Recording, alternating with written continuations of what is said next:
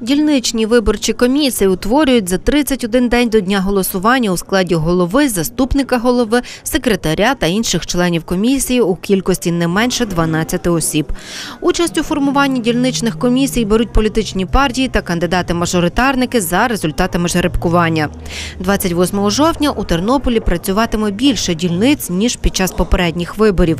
Їх додалось ще вісім. Це пов'язано з тим, що відповідно до законодавства е, ем, кількість е, виборців повинна бути не більше, ніж 2,5 тисячі. На попередніх виборах у нас були виборчі дільниці, які досягали 3 тисяч, 3200 чоловік.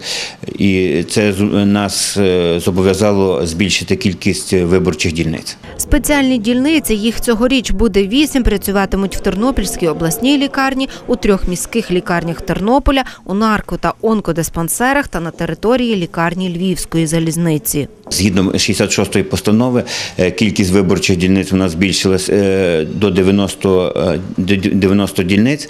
Відповідно, е, змінилися межі виборчих дільниць, і е, люди, е, хто в запрошенні десь якісь, ну може не зрозумів, де його дільниця знаходиться, е, чи по тій чи іншій причині не отримав запрошення, телефонують до нас, питають, де їхня виборча дільниця, для того, е, щоб в день виборів можна було попрямувати на свою виборчу дільницю і проголосувати.